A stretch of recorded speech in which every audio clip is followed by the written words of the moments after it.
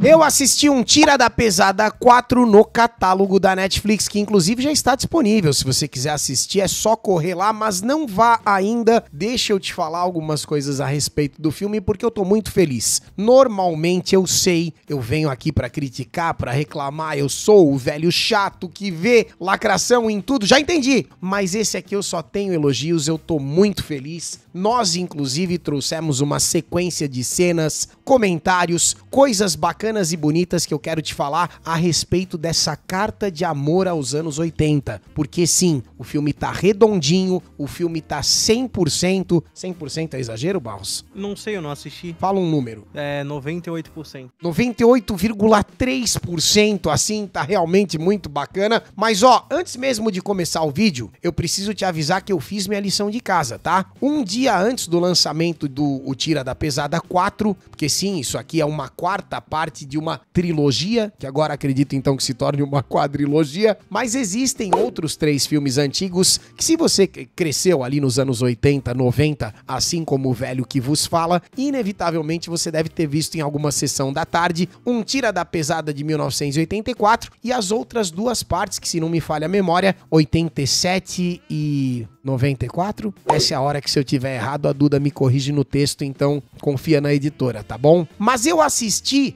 poucas horas do 4, eu assisti o primeiro de novo porque eu queria lembrar, eu queria recordar. Claro que na época eu assisti essa coisa toda, mas isso faz muito tempo, cara. Este filme original tem 40 anos, então eu fiz questão de assistir o primeiro Um Tira da Pesada, que também tá no catálogo da Netflix, e ao assistir, primeiro que lembrei um monte de coisa, primeiro que me empolguei com a trilha sonora, que inclusive a gente já vai falar sobre ela detalhadamente, mas teve um momento específico que eu fiquei bastante chocado e eu queria aproveitar para fazer uma denúncia, porque tem uma certa cena do filme, vocês talvez não acreditem, tá? Mas isso aqui é uma denúncia grave, denúncia grave, Duda!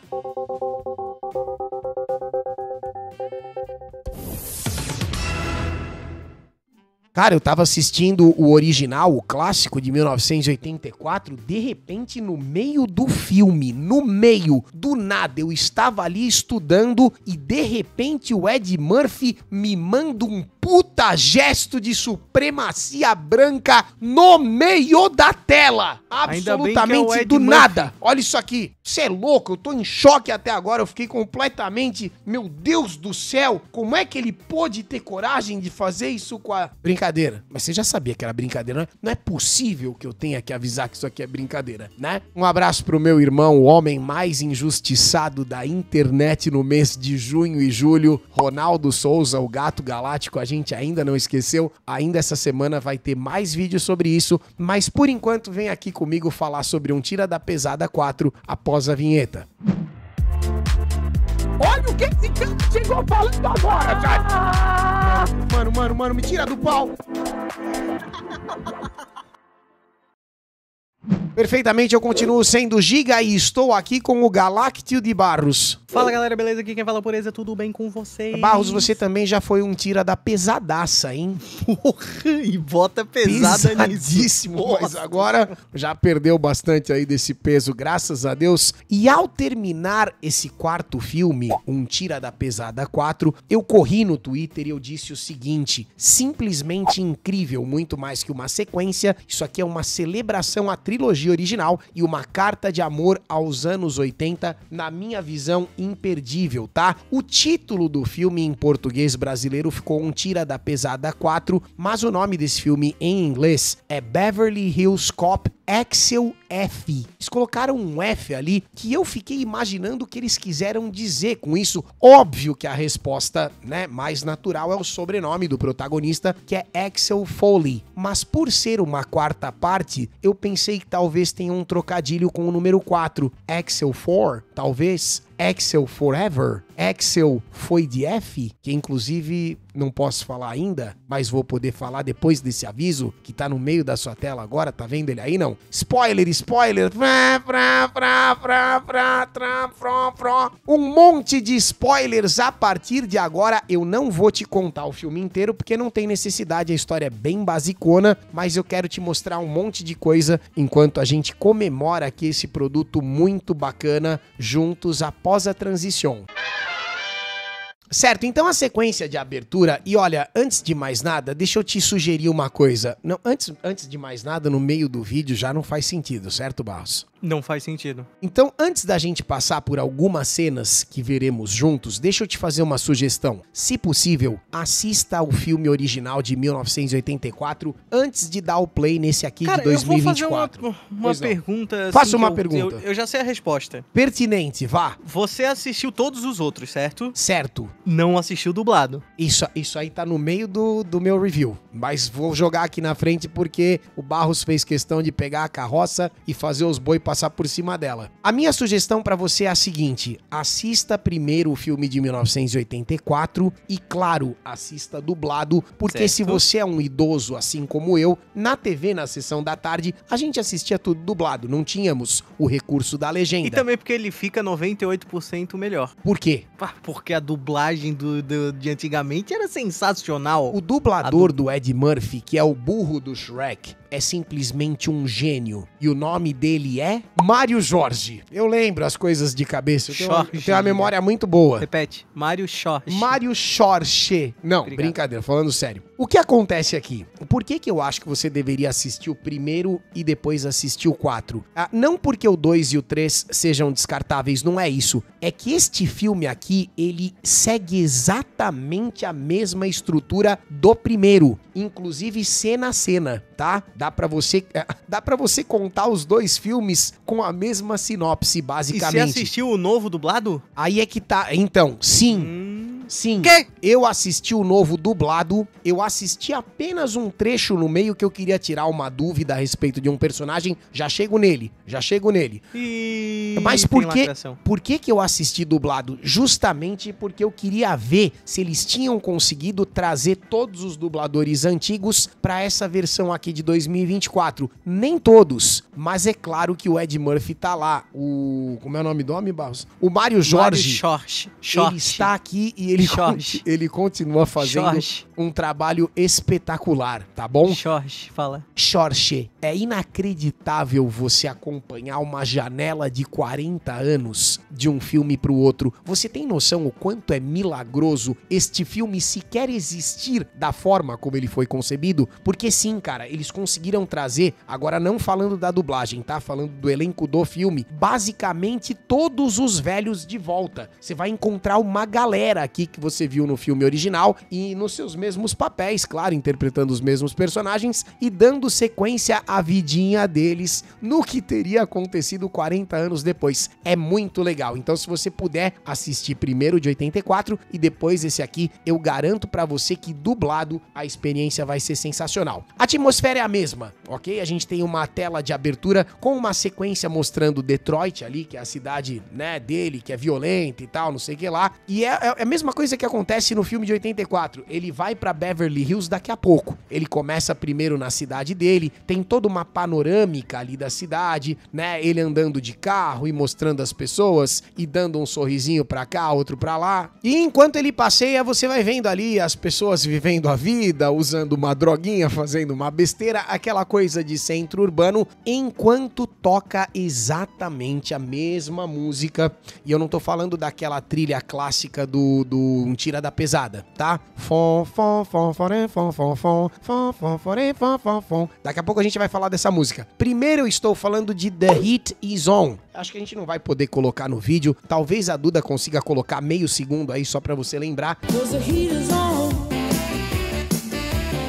Mas é, cara, é exatamente a mesma sequência de abertura. É muito gostoso de ver o capricho e de como eles fizeram questão de realmente homenagear a própria obra. Porque imagina você conseguir refazer, de certa forma, um filme 40 anos depois com o mesmo elenco. É muito legal. E me perdoa se eu estiver soando muito repetitivo, mas é que o tempo todo eu tava muito feliz enquanto eu assistia. Falando agora da própria música, né? Que algumas pessoas acreditam que seja a música do Crazy Frog, inclusive meu filho, na hora que ela começou,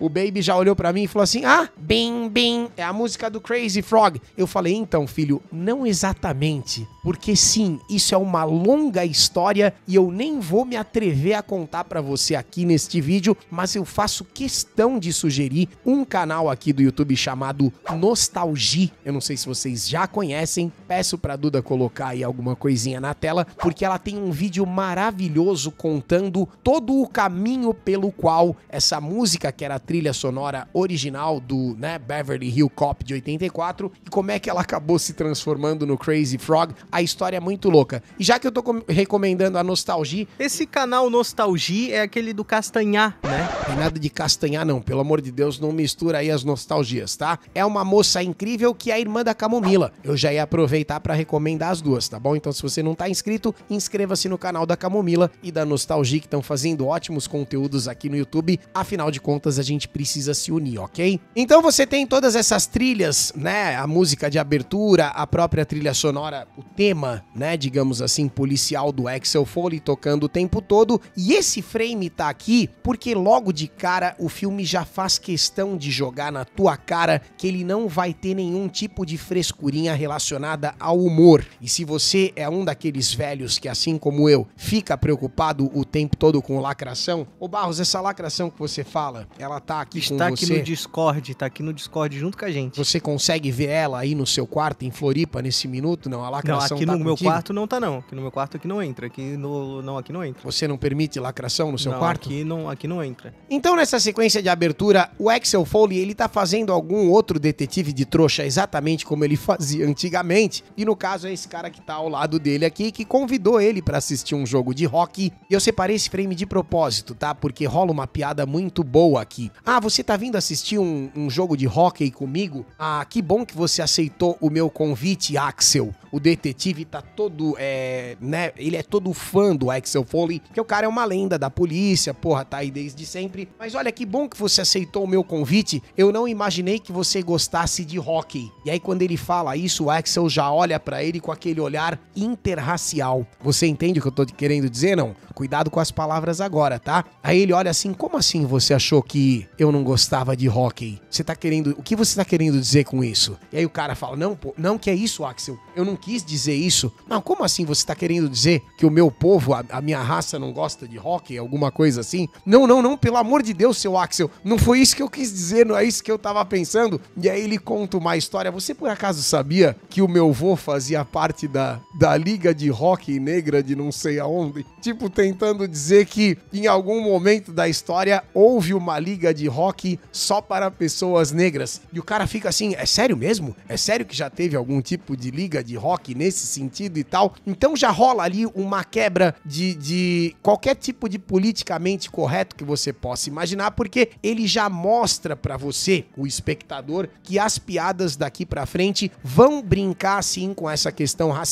inclusive o tempo todo, mas não da forma que normalmente você vê a Netflix fazendo em outros produtos aí que nem vale a pena mencionar. Mas saiba que sim, tem muita piada, tem muito humor, mas tá tudo indo mais para esse lado oitentista, noventista, quando um podia meio que brincar ali e zoar com essa coisa da cor, né? Com essa coisa do. Porque hoje a gente sabe que tá tudo, todo mundo muito frágil e muito ofendido com essas questões, mas aqui o Ed Murphy faz questão de te mostrar que pode ficar tranquilo que piada nesse sentido não vai faltar. Tem algumas sequências de ação, mas claro, o Ed Murphy já é um senhor de uma certa idade, então não espere vê-lo correndo tanto por aí que nem ele fazia antigamente, porque agora ele usa um carrinho de golfe aqui, um caminhão de, de limpar gelo ali, porém os efeitos continuam sendo, em sua grande parte, efeitos práticos. Então tem muita destruição, toda aquela patifaria que ele faz na abertura dos outros filmes, aqui também se repete, é carro sendo esmagado pra caramba, banheiro químico voando, é um monte de desgraceira, ele meio que destrói ali boa parte da cidade logo no começo do filme. Esse cara parece muito Mark Marco Nanini. Você conhece o Marco Nanini, Barros? Conheço, deixa eu ver. É o Lineu É, da grande família. mais novo um pouquinho. Mas o nome dele é Paul Reiser, ou Razor, e ele tá no filme original e ele tá de novo aqui. Se prepare pra ver o elenco todo do de 1984 de volta, porque eles fizeram aí. Isso, isso na minha opinião, é, é uma coisa que não tem preço, né? Você conseguir botar os velhos tudo de volta pra fazer os mesmos personagens, cara, 40 anos é uma vida. É a minha vida, inclusive, né? Que eu tô com 40. Cidade toda destruída o tempo todo. A gente vai passar mais alguns frames, porque neste exato momento a gente chegou na parte mais interessante do filme. E eu não tô dizendo isso porque, obviamente, se trata de uma linda mulher. Eu estou te dizendo isso porque a presença desta personagem nesse filme, pra mim, é a prova da ausência total de lacração. E agora vai ser difícil de explicar. Mas eu acredito que você não vá precisar, ah, de forma alguma, botar o chapeuzinho de alumínio. A questão aqui é a seguinte: quando você olha pra essa mulher, você bate o olho e você vê que ela é uma mulher bonita. Quando você olha pra essa mulher e você bate o olho nela, você vê que é uma mulher grandona. Ela é uma mulher ah, encorpada. Ela é uma mulher cuja beleza não é uma questão de interpretação. Ela não é uma mulher como a Zendaya, que você tem que ficar olhando pra ela o filme inteiro pra tentar achar alguma coisa num graveto com a cabeça gigantesca. Ela Me parece um pouco a Zendaya. nem fudendo. Ela não tem absolutamente nada que ver com a Zendaya. É uma mulher infinitamente mais pedaçu- pedaçuda. Perdoa pelo termo. Esquece o que eu tô falando. Mas de, um- de um tipo de beleza muito mais de mulher.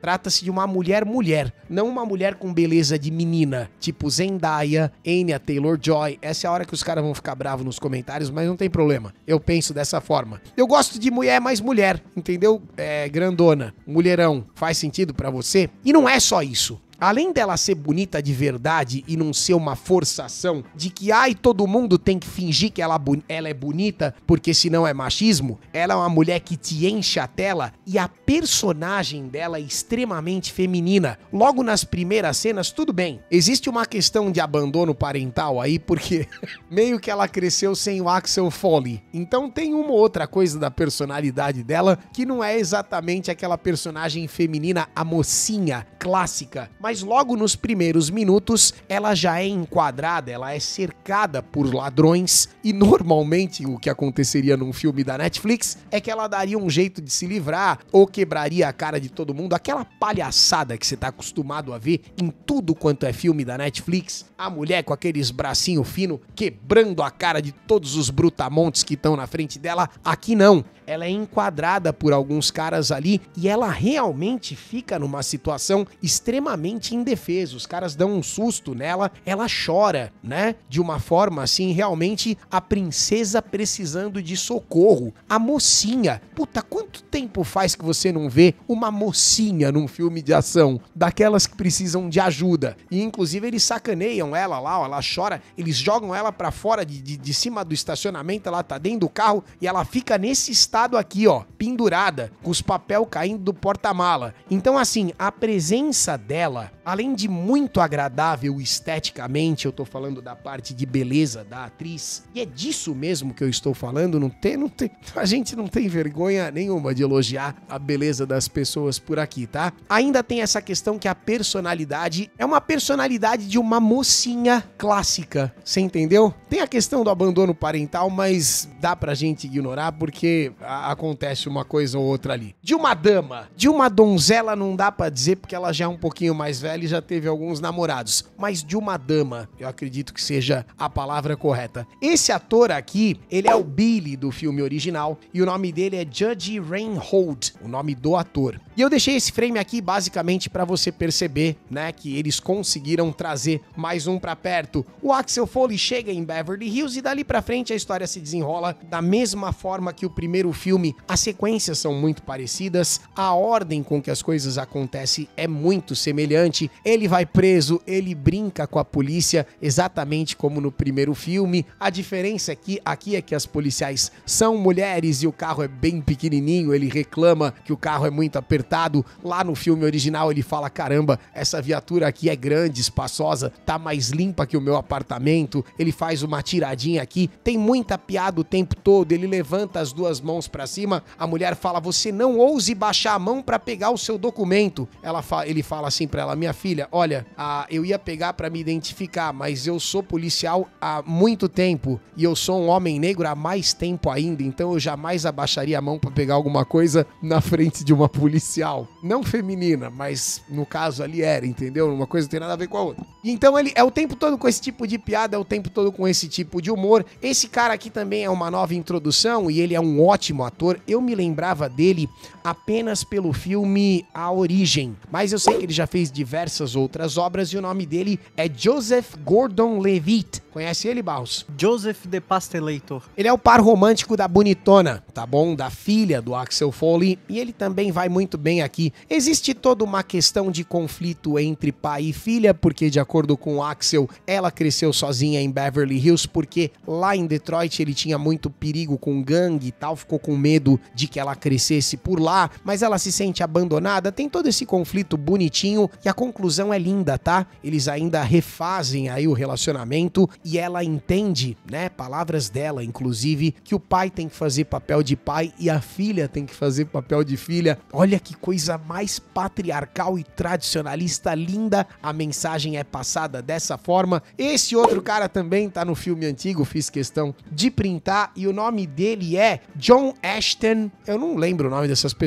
eu tô lendo naturalmente, tá? Que mais? O grande vilão dessa entrada aqui do Beverly Hills Cop é o Kevin Bacon e ele eh, realiza, ele performa esse papel com maestria. É um vilão engraçado, é um vilão interessante, torna tudo ainda mais divertido. Naturalmente que a gente tá falando de um filme extremamente pipoca, tá? Então não espere um roteiro que vai te impressionar, não é nada disso. É um filme ali para você dar meia dúzia de risadas e ver um quebra-quebra, uma explosão, aquelas cenas de ação onde os tiros dos bandidos nunca acerta e os deles acertam todos, aquela coisa dos anos 80 que para quem gosta de filme de ação ah, das antigas com certeza vai divertir. Tem o personagem gayzinho atrapalhadinho que ele vai fazer de besta, né, encantando o cara, também acontece da mesma forma que no original isso acontece naquela recepção de hotel. Aqui ele vai fazer isso com um cara que tá ali vigiando em estacionamento. O texto é muito parecido, a piada, o timing de humor, o Ed Murphy continua em plena forma nesse sentido. Tem os vilões caricatos, né? A máfia mexicana, aquele cara com uma bota foda, a escopeta dourada tá na mão desse aqui, uma camisa toda escandalosa, florida. Todos esses elementos estão presentes. Eu não sei se você vai lembrar desse personagem, mas ele também é muito importante no filme antigo e o nome do ator é Bronson Pinchot ou algo assim. E o nome do personagem é Sergi. E ele é aquele personagem ah, super colorido, né? E que inclusive ele fala algumas coisas aqui, ele brinca com as palavras, meio que puxando para esse lado assim, bem LGTV, HDMI, 4K, mais Plus Alpha, e rola até uma piada. Essa daqui eu não vou ter como reproduzir no vídeo, mas enquanto ele conversa com Axel Foley, ele chega a misturar a questão racial com a questão sexual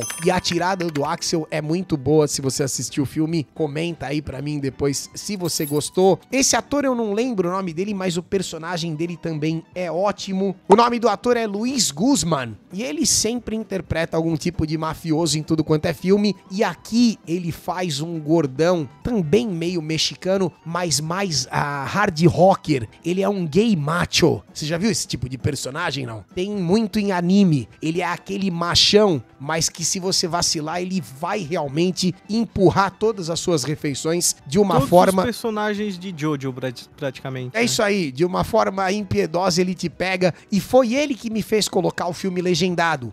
Porque eu achei que ele tava com uns trejeitos de mão, sabe? Umas coisas assim e tal. Muito iluminado e a dublagem não tava passando isso. Aí eu botei o texto em inglês para ver como ele tava, como o ator tava desempenhando. E realmente o timbre era grosso, mas ele era, ele era era aquele, aquele personagem gay machão. Você entende a contradição do que eu tô te- te- tentando te dizer? Ele é um gay machão porque ele não quer dar pra você. É você que vai dar. Desculpa de estar Um gay isso. ativo. Se ele te pegar, você tá fudido. E é um personagem interessantíssimo, embora com uma participação muito curta. Ah, acredito que essa tenha, tenha sido a sequência mais cara do filme. Eles conseguem demolir um helicóptero no chão. E é a sequência que, inclusive, vem, sido, vem sendo utilizada na divulgação do filme, né? Sequência divertida, bacana, ali forjan- forjando o elo entre genro e sogro, né? Porque ele é o par romântico da bonita. Caminhamos pra sequência final e a gente vai meio que passar pelo final do filme aqui. Te avisei que tamo full spoiler, mesmo sem contar cena a cena, né? E o Kevin Bacon continua segurando o rojão ali até o último momento. Tem diversas cenas que se você viu o original, você vai falar, caramba, que legal, eles fizeram igualzinho a esse personagem e o outro tiozão deitado ali atrás dos destroços trocando ideia. Ele levanta e manda todo mundo levantar as mãos pra cima e tal. É a mesma cena, eles praticamente refizeram o mesmo filme de 84, só que claro, né, com novas piadas, uma nova trama entre aspas, mas que desemboca e vai caminhando da mesma forma. Nos últimos minutos, o Axel Foley toma um tiro no peito pra fingir que vai morrer, mas você sabe que ele é o protagonista, isso aqui é uma comédia, então logo ele já tá no hospital e se recuperando. A bonitona aparece de cabelo ah, de chapinha no final, ficando ainda mais bonita, na minha opinião, né? Ainda mais feminina e ainda mais. é, é, Cuidado com as palavras que você fala, viu, Barros? Tô Porque às vezes aqui. você exagera nos seus comentários, você precisa se lembrar que você é um homem casado, tá? Não sou. Mas é que realmente eu acho essa moça muito bonita, tá? O nome da atriz é Taylor Page. E a Duda vai botar. Taylor Page. A Duda vai botar umas fotos dela aí na tela pra você perceber que realmente existe um abismo entre ela e as outras que eu mencionei. Anya Taylor-Joy, a própria Zendaya, Vandinha, né? A gente tá falando de mulheres de outro tamanho, ok? Millie Alcock, puta, uma piada perto dessa mulher. Estou falando do meu gosto. Gosto de mulher mulher, não mulher que parece um, sei lá, menina, uma criança, com todo o respeito do mundo, tá? E ela é realmente muito bonitona. Temos aquele desfecho final, né, onde ela caminha com o papai ali, ele acabou de tomar um tiro, mas não queria comer a, a comida do hospital, então foi no restaurante fugido, ela reconduzindo ele de volta pro hospital. E o último frame é a coisa mais linda do mundo, cara. Eles fizeram questão de fazer a imagem congelar. Sabe aquele último frame que frisa? Exatamente como toda bomba da sessão da tarde terminava, antes dos créditos a última cena congela. Você sabe do que eu tô falando? Isso sempre acontecia em filme antigo e isso aqui é uma assinatura, sabe? Na minha visão, é o capricho final dessa carta de amor tão bem escrita, tão bem composta e que faz com que a gente realmente consiga atravessar essa janela de 40 anos aí de forma tão graciosa, tão agradável. Meus parabéns pro Ed Murphy que realmente com esse filme aqui, na minha opinião, eu sei que muita gente se decepcionou com o Príncipe em Nova York 2. Não é o meu caso, eu gostei daquele filme, mas eu acho que essa obra aqui é a prova de que o Ed Murphy conseguiu construir um legado onde ele fez as próprias regras. E mesmo num momento e junto de uma empresa, no caso a Netflix, né, que impõe tantas coisas, tantas pautas, tantas besteiras, mesmo assim ele conseguiu entregar a esse tesouro aqui, que é algo para você realmente preservar e guardar ali para assistir de vez em quando num domingo à tarde ou numa semana que você tá de folga aí, de férias com a criançada. Aqui em casa já assistimos todo mundo na sala. É um filme que eu vou carregar no meu coração e que conseguiu sim justificar e honrar todas as memórias da trilogia clássica, tá? Gostei demais. O Barros tinha falado 98,3%, não era isso, Barros? Você tinha falado. Mas pra mim, nota 10. Eu sou exagerado pra caramba, vocês sabem disso, né? Quando eu odeio um produto é nota 0 e quando eu gosto é nota 10. Eu adorei isso aqui, parabéns de novo. Recomendo demais que vocês assistam e por isso, por isso não, e por hoje eu acho que tá suficiente a gente deixar aqui essa sugestão, tá bom? Me fala nos comentários se você pretende assistir, se você já assistiu. Acho que esse nosso vídeo até que saiu rápido, o filme lançou ontem, né? Então já estamos aqui falando dele. Não sei se seria interessante voltar nesse assunto para fazer um cena a cena. Sinceramente, acho que não, porque a história é muito linear, é uma coisa bem oitentista, muito simples. Ah, vale muito mais pela experiência, pelas piadas, pela destruição do que pela trama em si. É tudo muito mais divertido pela forma que acontece do que intrigante. Não é nada nesse sentido. É realmente para pegar o cérebro, botar num copo d'água e voltar para os anos 80. Gostoso demais, tá bom? Nada de cena a cena, o vídeo é esse. Gostou do Tira da Pesada? Clica na curtida. Obrigado, Barros, por mais um vídeo. Tamo junto e até o próximo filme. Por favor, estude inglês.